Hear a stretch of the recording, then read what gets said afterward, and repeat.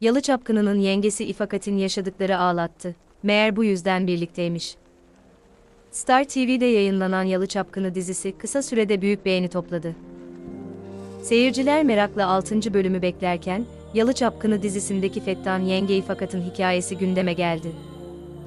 Acılarla dolu bir hayat hikayesi olan İfakat, Orhan'la bu yüzden birlikteymiş. Afra Saraçoğlu ve Mert Ramazan Demir'in başrollerde yer aldığı Yalı Çapkını dizisi gerçek bir hikayeden uyarlandı. Dizinin yazarı psikolog Gülseren Budayıcıoğlu, bu Yalı Çapkını'nın hikayesi benim çok sevdiğim bir hikaye. Tabii ki gerçek bir hikayeden alındı. Her karakterin ayrı bir hüznü ve sıkıntısı var. Bakalım siz hangi karakterle empati yapacaksınız, sözleriyle merakları gidermişti.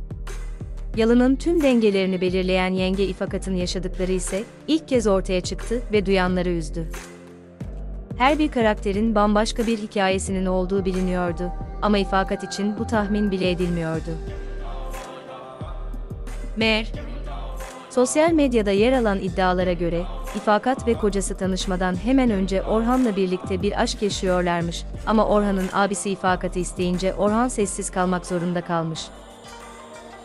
Orhan'ın abisi ölünceye kadar İfakat'la Orhan'ın sık sık birlikte olduğu da yine iddialar arasında yerini alıyor. İfakat'ın ailesinin bu durumdan haberi olduğu için kabul etmediği, bu yüzden konakta kocası ölse bile kalmaya devam ettiği de yine iddialar arasında yerini alıyor. Fettan ve söz geçirilemez bir yenge olarak seyircinin karşısına çıkan İfakat'ın hikayesi ise Seyram ve Sunan'ın hikayesine benzetildi. 1977'de İzmir'de doğdu. 9 Eylül Üniversitesi Konservatuvarı Sahne Sanatları Opera Şan bölümünde eğitim aldı. Oyunculuk kariyeriyle birlikte çeşitli gruplarda solistlik ve Ruhi Su Kültür Sanat Vakfı'nda şan hocalığı yaptı. Oynadığı ilk sinema filmi olan Türev, 2005 Antalya Altın Portakal Film Festivali'nde en iyi film ödülünü kazandı.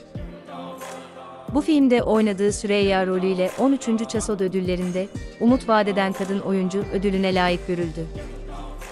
Bir klasik haline gelen Elveda Rumeli dizisindeki Hatice rolü ülke çapında tanındı.